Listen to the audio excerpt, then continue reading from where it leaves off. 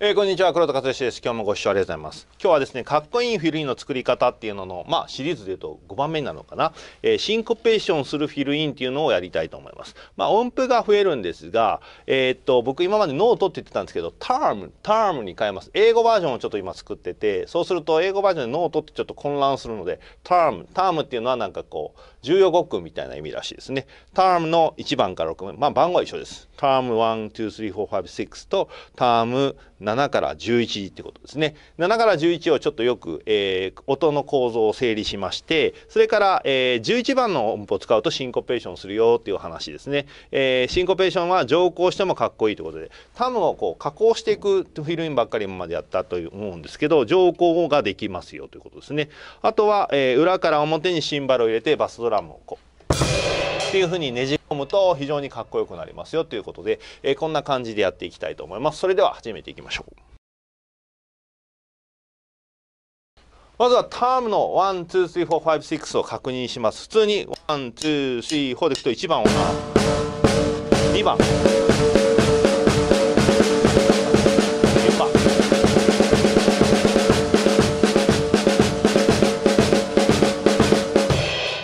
音符を組み合わせてフィルインを作るということですね。今まではこの1番から6番の組み合わせで、えー、こういうフィルインができますよっていうのをやってきたと思うんですが、えー、今日は7番から11番の音符が増えます。7番はまあえっ、ー、と裏拍の8番はシンコペーションする。これは今日今回ちょっと使わないんですけどこれは裏から。これ右左ですねこれはね。ここも右左です。9番も右左。で、えーと、11番が左右です。歌ターンはよくみんな右左で行くんですけど、えーと、左右っていくとここの最後の16分符をに変えたいなと思った時に応用が効かないので左右でやるようにしてください。でこれが、えーと、と7番は左手で7番は右手でもいい。これは16の3つ目って考えると右手だけど8分の2つ目って考えると左。フィールを大きく取ってれば細かく取ってれば右手になるという形ですね。はい。で整理するとですねえっ、ー、と8番と10番の音符はっていうのは付点がついてるので付点がつくと16と付点がついたので1拍になるってことでね。それが、えーと、付点がついたのが後ろに来てるのと前に来てるのでこれはまた別機械で使えますね。今日はこの789719です。7119を使いたい。7っていうのは16のフィールでやると右手だっていう話なんで。その手前に音がつくと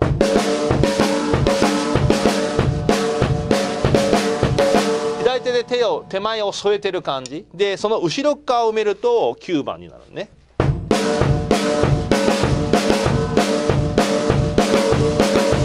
だから、えっと、順番にやると7番。17番。この11と9の音符がごっちゃになってる人がいると思うんですが16分9符で、えー、と左手で手前に音を7番の手前に音を入れたやつと,、えー、と8分9符でこっち側が右手でその後ろ側に左手を入れたものになります。そうするとですね、えー、っとこの11番を例えば4番でも5番でも音符は何でもいいんですがこうタタタタンって飛んで7番のところ。でこの音は添え音タタタタここに着地する感じ、ね、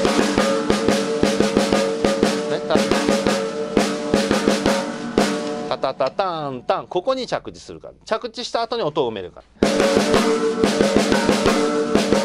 という形。このタタタタンタカ。タタタタタタ。タタタタタ。みんな同じフィールでしょ。だから手前に音を入れるか後ろに音を入れるか。こういう音をするとシンコペーションするのね。でシンコペーションする音っていうのは、まあ、よく使うんです。非常にかっこよくなりますね。今日はやるよりはちょっと跳躍した感じ。あのカースケさんがもうてもうものすごい使うのうまいですね。川村カースケさんはすごくこのフレーズよく使います。でこのシンコペーションをすると普通は上行するとなんかちょっと気持ち悪いというか使う人いるますけどあんまり自然風じゃない。例えばフィルインで下ってきて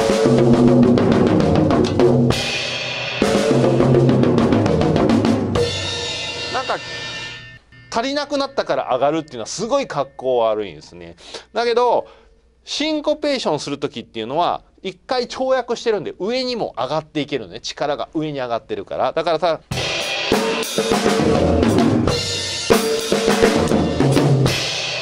おかしくないじゃん一回跳躍してるから上に上がっていける力があるっていうことなんですねなので、えーと、と例えばここなんかだとOne, two。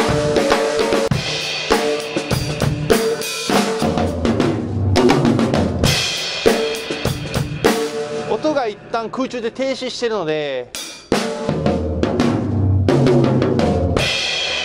おかしくないですよねだからこうシンコペーションをうまく入れたところのシンコペーションでジャンプしてる間は上に上に上がっていける滝登りみたいな感じでうまく戻っていけるということでございますね。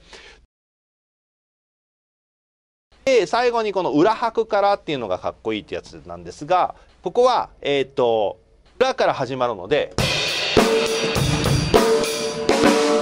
だと急になんか突然途切れた感じ。わざと使う時ありますけどこういう時にね裏から始めたい時は手前シンコペーションしてジャンプしておくと。でつながるんですねうまくね。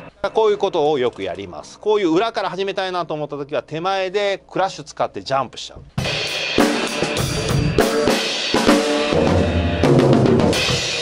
この滝登りした後下ってくる時によりは裏からのっていうのを入れてあげるとなんかこうまあちょっと上級者っぽいかな。だから